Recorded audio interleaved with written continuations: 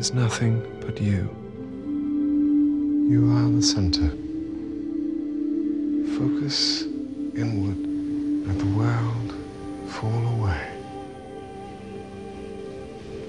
Fall away.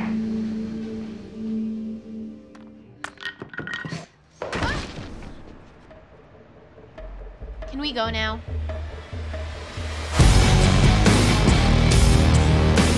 Nobody knows who I am.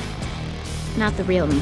Dawn, will you stop fiddling with the radio and sit down? No one understands. Get out of here. No one has an older sister who's a slayer. She's always around. Hey, Dawnie. Dawn Patrol. You're like her idol, Buffy. No, I'm telling mom you slayed in front of me. Fine.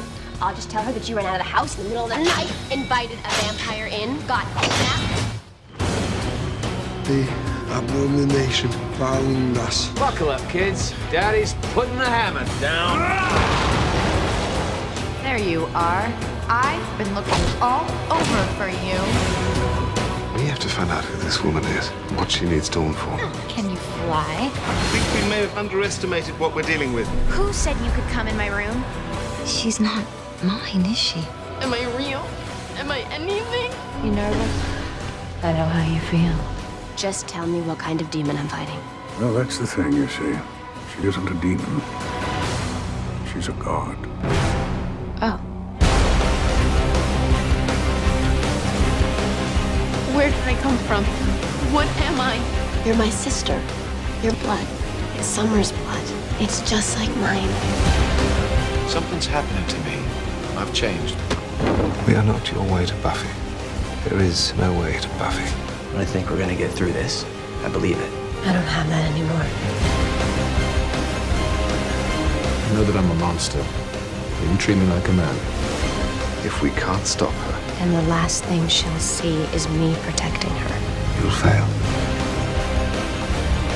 I don't know how to live in this world.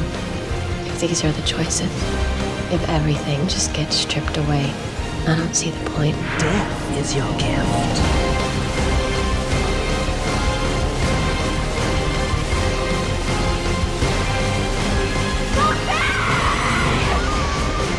I'm counting on you to protect her. Till the end of the world.